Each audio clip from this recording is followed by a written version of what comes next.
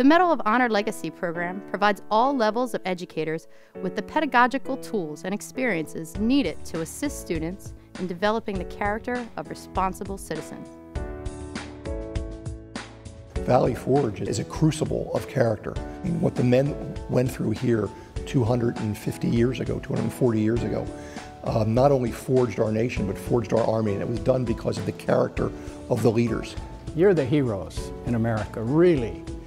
There's no future for America uh, without good teachers. It ain't going to happen.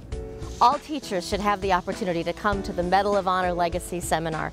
It's an opportunity to engage with other educators and talk about those things that, that our students are starving for and an opportunity to grow yourself as an individual as well as provide strength and support for other teachers. I gotta say the best part of the week so far has been meeting and talking to the World War II veteran and actually just meeting a Medal of Honor recipient. Um, I don't think I would ever have the experience to meet any of these people unless I got the opportunity to come here.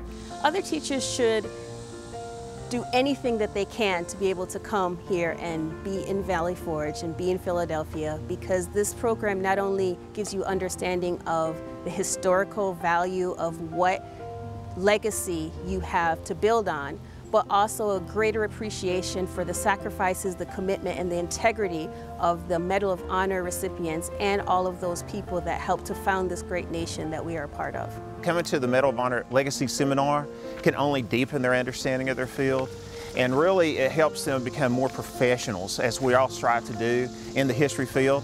So I'm, I'm a strong believer that every one of my teachers coming to this.